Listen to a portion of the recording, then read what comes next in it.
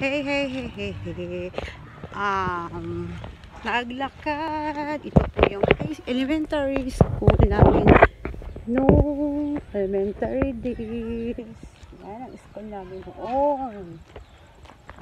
Now, I'm going to go home from my friend's store.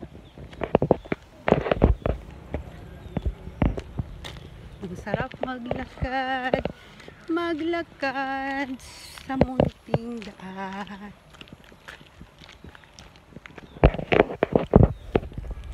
Maglakad sa munting daan. Hello, hello, hello. Sa aming munting nayon, masarap maglakad sa aming munting nayon. May baka, may purok, may mga puno, puro green ang nakikita. Medyo konting hingal kasi wala po ako exercise since nandito ako sa aming province. Wala na po akong zumba, walang hula hoop, pero may TikTok.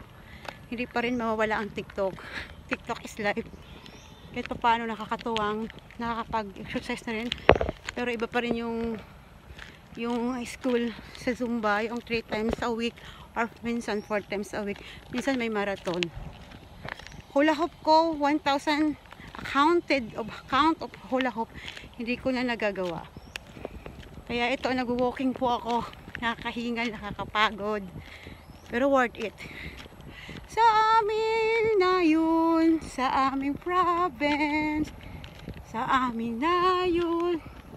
Malapit na po ako sa aming bahay. Ayan na po. Yan, ang daan sa aming bahay. Uh, natatanaw ko na ang aming kisame, ang aming atip na kulay green. Oh, ya, grabe ang hingal ko po. Finally, finally. Yan na po ang aming bahay aming province. Oh, ang hingal ko talaga. Yan na po. Kunting-kunti na lang ang aking lakad. Okay. Thanks. Bye, babu.